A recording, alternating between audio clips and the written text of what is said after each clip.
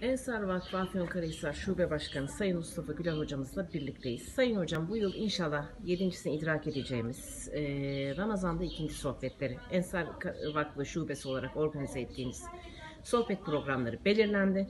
27 gün boyunca farklı konularda sohbetler gerçekleşecek. Ramazan ruhaniyetine uygun olarak bundan 7 yıl önce ilk zamanlar 10 kişilik bir grupla başlayan ve zaman içinde gelişerek hüsnü kabul gören bu sohbetlere yönelik neler söylemek istersiniz?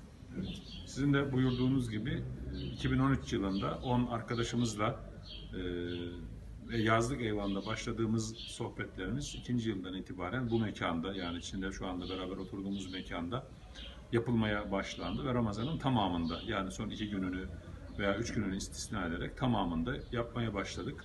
Ve artık Afyonkarahisar'ın Ramazan ayında e, en fazla rağbet edilen ve en fazla aranan hatta en fazla bilgi ve malumatın olduğu, aynı zamanda Ramazan'ın e, yıllık temasına ve genel temasına uygun e, konuların, mevzuların işlendiği ve bir e, dinleyici kitlesinin oluştuğu e, devam eden bir gelenek haline aldı. Tabii camilerimizde devam eden vaaz programlarını istisna edersek Ramazan ayında iftardan başka e, Ramazan'ın tam orucun kemale erdiği bir vakitte e, ikindi namazı sonrasında hatta mukabele sonrasında yapılan bu faaliyet bir özelliğimiz daha var. Türkiye'de ilk ve tek, halen tekiz.